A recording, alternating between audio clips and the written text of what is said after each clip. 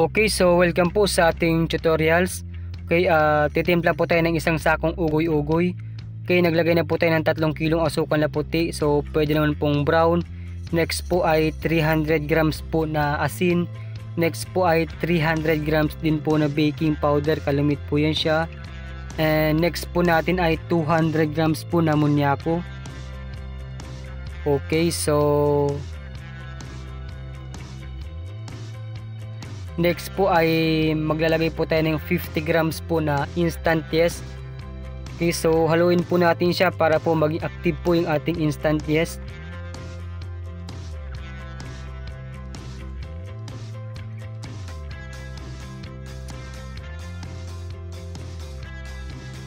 Okay, so ngayon po ay maglalagay na po tayo ng tubig.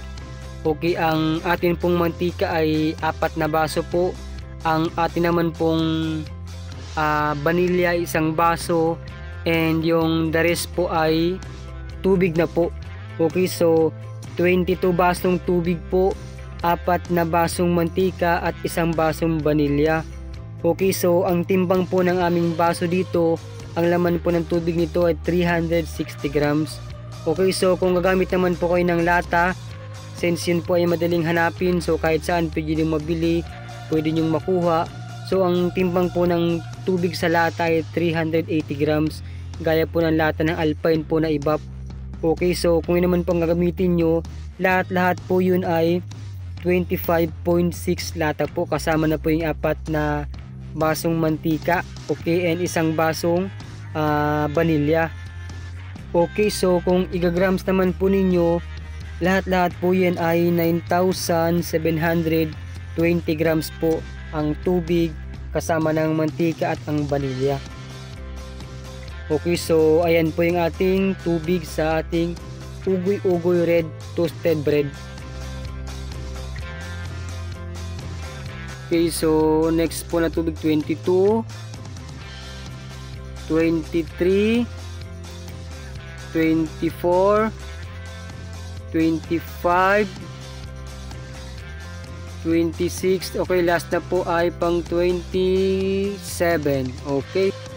Okay so next po maglalagay na po tayo ng isang kilong margarine. Okay so pwede naman pong maglagay ng lard. So ang gamit po namin sa aming tinapay ay margarine po. Okay so mas masarap po siya kaysa sa lard. Pagdating naman po sa mga malalambot na tinapay mas the best po ang margarine. Okay so naglagay na po tayo ng isang kutsarang uh, food color kulay red po yan siya. Okay so ayan po. So mix po natin yan siya. Okay so lamas lamasin po muna natin yung margarine para maging maliliit po siya. Then next po natin yan is tunawin po natin yung asukal at yung asin. Okay so once na wala na po tayong makapa na uh, asukal at uh, buo buong asin so pwede na po nating masahin lahat Okay, so ganyan po siya. Okay, so sundan lamang po ninyo sa video para mas maunawaan po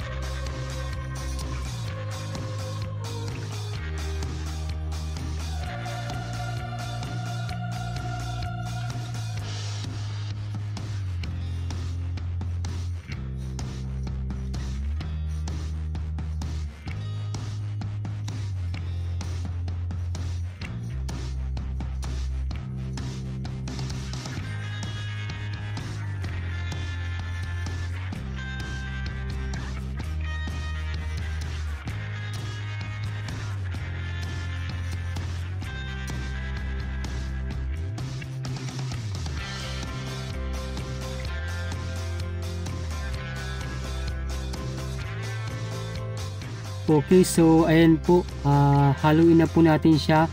Sa paghahalo naman po ay amat-amat lang po. Huwag po nating pipigain po ng kamay para po hindi po agad mabuo para ang maganda dyan pagkahalo lang siya ng halo. So lahat po ng harina po ay malalagyan po ng tubig. So pagka nalagyan po ng tubig, maganda po yung kanyang pagkamasa. Okay, so kasi pagka habang hinahalo po natin ay pinipiga, pinip, uh, pinipiga-piga po natin. So pinukumukumo natin ating kamay. So ang tendency nun ay yung iba po ay mabubuo agad. And yung tubig ay hindi siya mag-i-spread out ng maayos sa mga harina.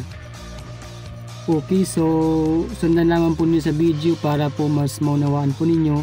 Pag may mga tanong naman po kayo mag-comment lang po kayo sa dun sa album. So nakanote naman kung saan kayo magko-comment. Okay so ayan po. So mix mix po natin ng maayos para lahat po ay malagyan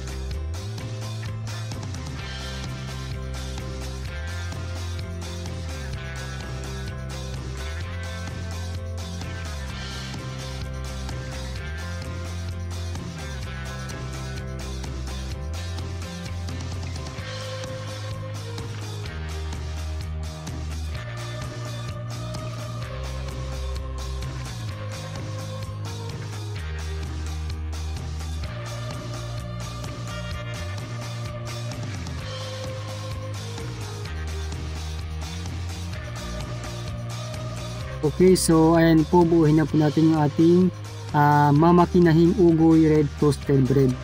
So, ganyan po, pag buo niya na suntok-suntokin, idiin ng kunti, uh, pwedeng malakas para mabuo siya bago po natin siya isa lang sa ating dough roller.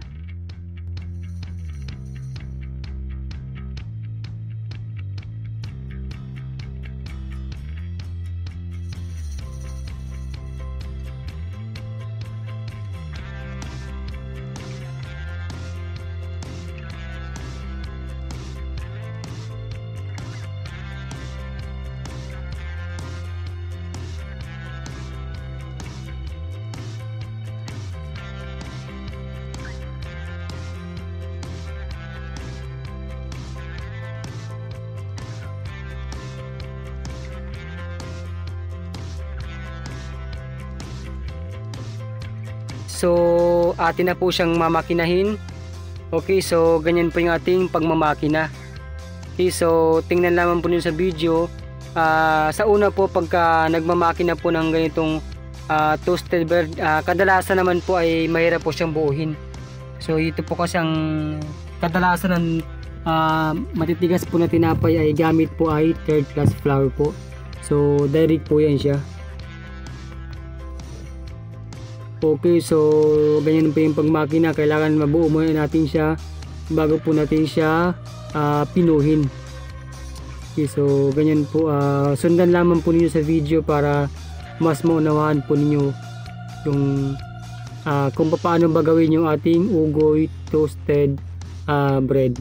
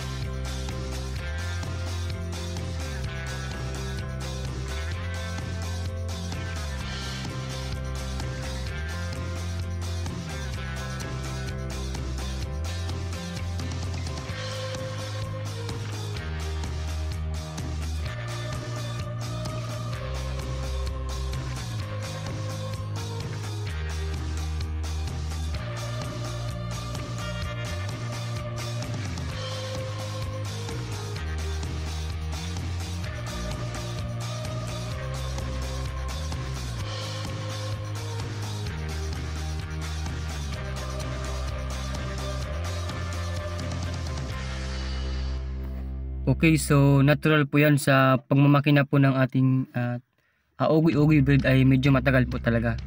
So karamihan naman po ng uh, mga toasted bread uh, pag kami nakina po medyo matagal kasi yan ay medyo matigas dapat ang timplada.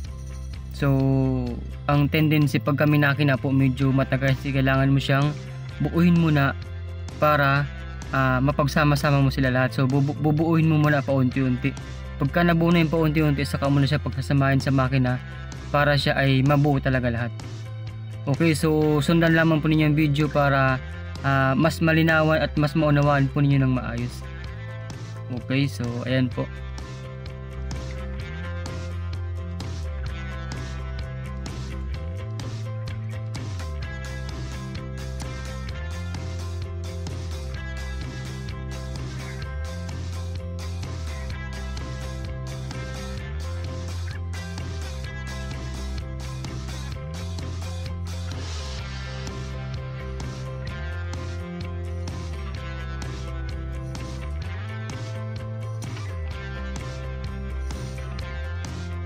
Okay, so ayan po, nabuo na po natin siya. So ngayon po ay amat-amatin na po natin siyang pakinisin. Okay, pag napakinis na po natin siya, pag okay na, makinis na, uh, amat-amat na po natin siyang panipisin. Okay, sa pagpapanipis naman po ay dapat uh, amat-amat lang. Huwag yung uh, bigla mo agad na lalaki ng subo sa makina. Okay, so pangit yun. Uh, hindi siya agad, uh, kumbaga, hindi makinis ang labas pagka natapos na ang tinapit tsaka hindi siya mabubuo ng maayos. Okay so tingnan po ninyo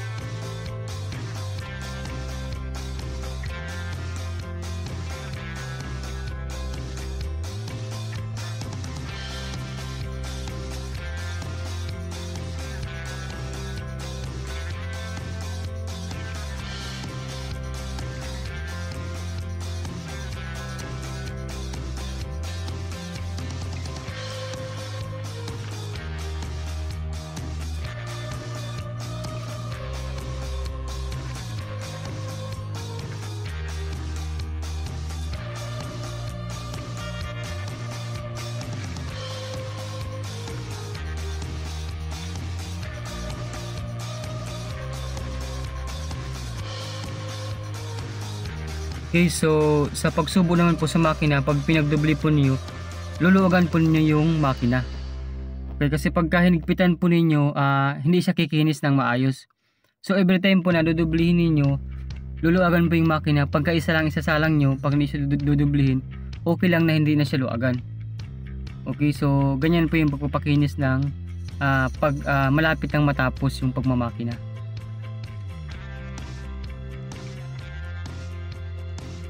Okay, so ayan po, uh, dahan-dahan na po natin siyang papanipisin. Sa pagpapanipis naman po, kailangan natin sabuyan ng harina. So kailangan sa pagsasaboy medyo hindi gaano marami kasi ang tendency pag marami, uh, titigas lalo ang tinapay kasi nga maraming napupuntang harina.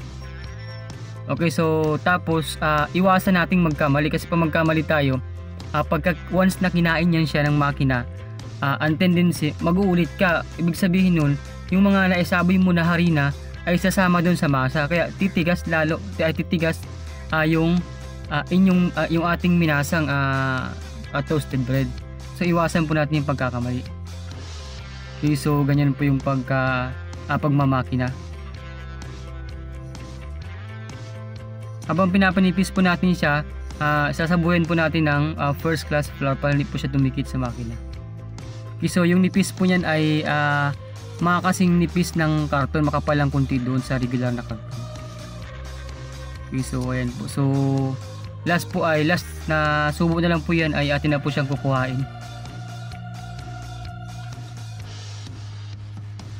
Okay so ayan po. Tingnan po ninyo kung paano po natin isasampay sa makina yung uh, atin pong minaki ng uh, toasted bread para hindi po siya magulo. Yan Okay, so ayan po, tapos na po yung ating pagmamakina. Okay, so next po atin na po siyang i-slice uh, sa ogi-ogi bread. Okay, so ganyan po papalapadin po muna natin siya. Yung harina po sa ibabaw, uh, wag, mo, wag po muna natin siyang tatanggalin kasi yan ay uh, pag na-slice natin, pagpapatung-patungin po natin yan siya,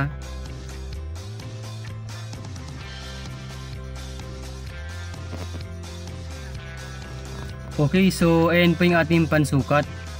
Okay, ang sukat po natin yan ay 3 in 1 half inches. Yan po yung lapad ng ating uh, ogoy-ogoy toasted bread. Okay, so i-slice po natin siya. Then pagtapos po i-slice, pagpapatong-patungin po natin bago ilagay po natin sa isang tabi. Then pag natapos na po lahat i-slice, bago, bago na po natin siya ikat. Okay, so sundan lamang po ninyo para uh, mas maintindihan po ninyo.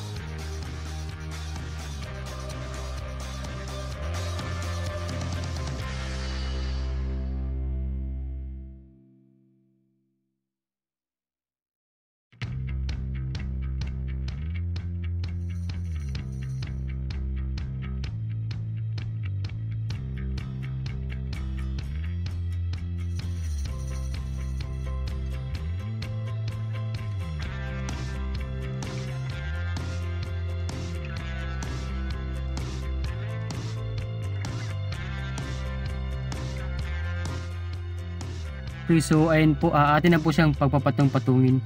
So tatlong patong lang po sa kada isa and then tatlong uh, lagay po sa tray. Okay, so ayan po, tingnan po ninyo.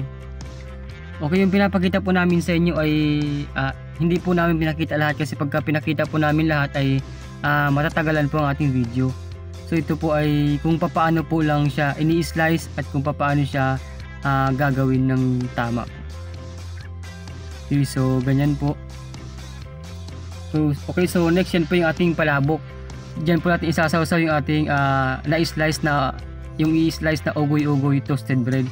Okay, so pinaghalong asukal na puti po yan siya at saka yung pulbos. Okay, uh, kung halimbawa ang pulbos mo ay 1/4 kilo, ang asukal po na puti na ilalagay ninyo ay 3/4 kilo. So yun po yung uh, yung ratio ng ating uh, paghahalo ng pulbos at saka ng uh, asukal na puti. Ang kagandahan kasi niyan pagka may pulbos, uh, once na ilagay mo siya doon, may sausaw mo yung i-slice na ugoy-ugoy bread, hindi po siya matutunaw ang asukal. Unlike pag asukal ang ilagay mo, uh, kasi hindi naman siya agad maluluto agad eh. So ang gagawin, ang mangyayari dyan, matutunaw po ang asukal. So sayang po. Okay, so ganyan po, tanggalin na po natin yung ating uh, uh, harina, flour para mapahiran po natin ng mantika. Okay, so ayan po,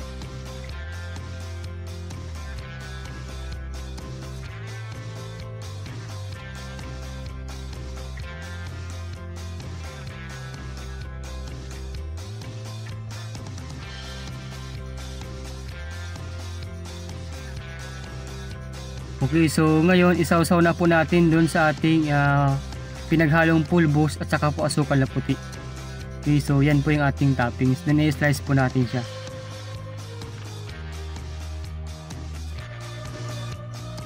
Okay, so ang lapad po niyan ay 1 inches po yan siya.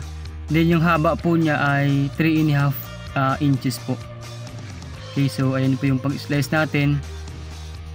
Then pagtapos i-slice po, ilagay na po natin siya sa tray. Okay, so so sa iba naman po ang ginagawa dito, uh, tinitimbang nila, ang timbang nila halimbawa dito sa Palawan, ang bintahan sa tindahan ay 12 pesos po kada isang balot. So ibig sabihin ang ang isang balot ay 12 piraso ang laman, dag piso ang isa. Ang timbang po niyan pagka gaya niyan hilaw pa siya, uh, 12 pieces 120 grams po. And ang isa naman sa magandang technique dyan, uh, magtitimbang kayo pagka luto na ang tinapay.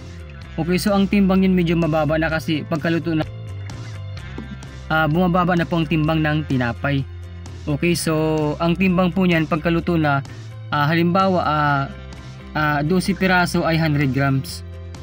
Okay, so kung gusto niyo naman na medyo malaki-laki, makapal-kapal, mga uh, mag-adjust kayo sa pag-slice. So ang mangyayari mga mga 10 pieces uh, ah, 100 grams po okay so ganyan po yung ating uh, paggawa ng ugoy-ugoy toasted bread okay so ayan po siya kaya po siya may pulbos kanina at saka asukal kasi kagaya niyan yung kanyang toppings ay hindi po uh, hindi po matutunaw hindi po siya uh, mawawala kasi pagka asukal lang ang toppings natin diyan uh, ang tendency niyan mawawala siya so sayang yung yung appearance, sayang yung design, no? So hindi makikita yung asukal.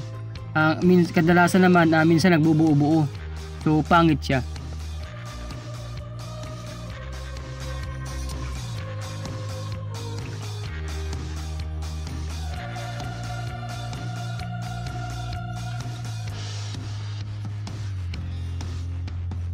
Okay, so sa paglagay naman po natin sa tray, uh, tatlo palapad and 14 pieces pa haba po. So depende, uh, minsan uh, uh, 14 to 15. So depende po sa lagay. Okay, so ayan po. So 14 pieces po pahaba and uh, 3 pieces po pababa. Palapad po.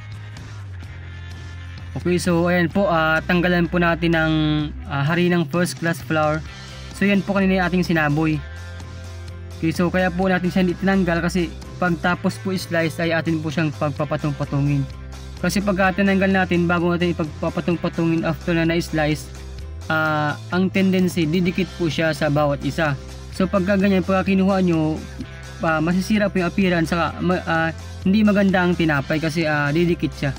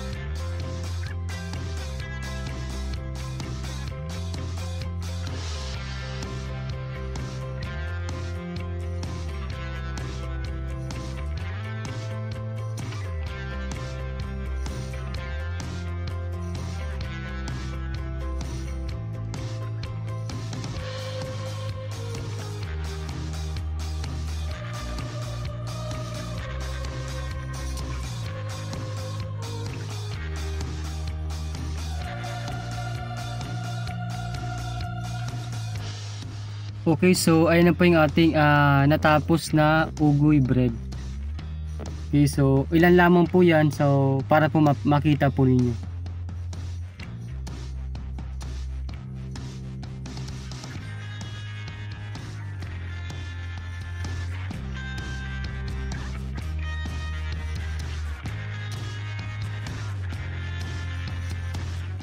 Okay, so yan po yung kanyang asukal at saka yung pulbos niya. Kung mapapansin po ninyo, hindi po siya natutunaw kasi uh, kung anong paglagay nyo as is po siya kasi nga may halo siyang uh, pulbos kaya hindi siya uh, natutunaw.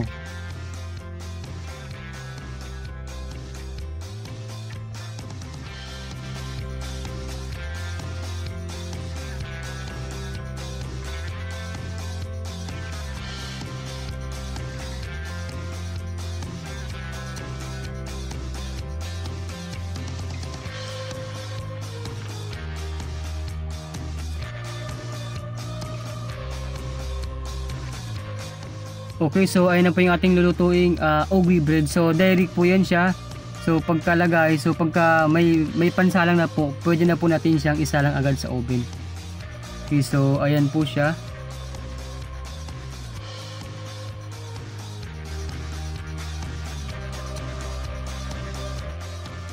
Okay, so ayan po. Isasalang na po natin sa oven yung ating ugoy-ugoy uh, toasted bread. So yung sa taas po yan po yung ating uh, flour to cold toasted bread. Okay, so ayan po. So pag salam po natin, tumatagal po siya sa oven ng uh, ah, 10 to 15 minutes bago po ninyo itaas. Okay, so minsan depende naman po. So pa kailangan ang hornero uh, magaling siya tumingin kasi uh, kailangan bago mo itaas minsan uh, hipuin mo muna. Kung matigas-tigas na siya, pwede mo na siyang itaas pag may swelo. Na ibig sabihin pag may swelo, pag may makita kang uh, pag kinuha mo, pag biniligtad mo, pag makita kang parang brown brown sa likod, ibig sabihin may suwelo na po siya, pwede na po siyang itaas. Okay. So sa pagluto po, wag po natin siya masyadong sunugin, wag masyadong itusted po natin. Kasi ang tendency niyan pagkahango po, pwede naman po natin siyang isalang uli. Okay, para tumigas. Okay, so yan po, kukuhain na po natin yung uh, yung tukol bread. Okay, so pagtapos kuha, bago po natin itataas yung ating uh, ugoy-ugoy bread po natin. Okay, so kung gusto niyo naman po ng mga oven tricks, so panoorin niyo po yung video natin sa uh, paggawa ng utap. So makikita po niyo po ninyo doon kung paano ba ang ang oven tricks at an, ano bang kagandahan pag may oven tricks. Okay, so mas 2 times siyang mas mabilis sa regular na pagluluto. Okay, so panoorin naman po ninyo yung video natin sa utap. So doon po ay makikita po ninyo. So sa ngayon po ay gumamit po tayo ng uh, ng 8 trays na oven. So apat sa baba, apat sa taas. Okay, so ayan po. So pagtaas po, ilagay na po agad natin ang ang ang susunod po. So yan po kagandahan dapat once pag nagluluto po dapat bago ita pag itataas na po yung sa baba kailangan uh, bago isarado yung oven kailangan may nakasalang na po na kasunod. Kasi ang tendency niya pagka walang nakasalang po nakasunod, sayang yung apoy, so sayang yung init ng oven.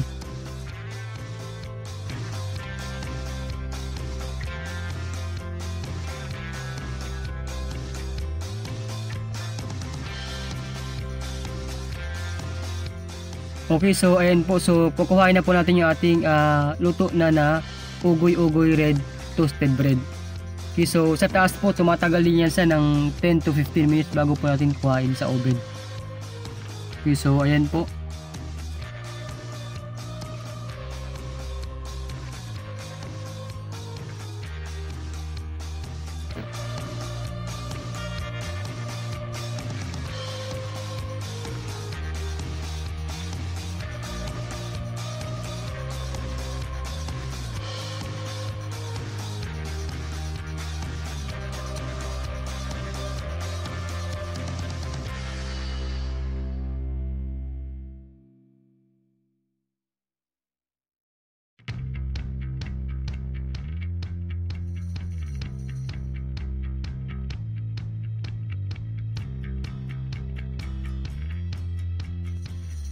Okay, so ayan po yung ating oven tricks. Okay, so panoorin po ninyo yung video natin sa oatlock bread kung paano po gawin. So makikita po ninyo yung, yung diskarte ng pagluluto sa ating uh, uh, oven uh, tricks po. Okay, so yan na po yung ating bagong lutong uh, ugoy-ugoy red toasted bread. Okay, so ayan po siya.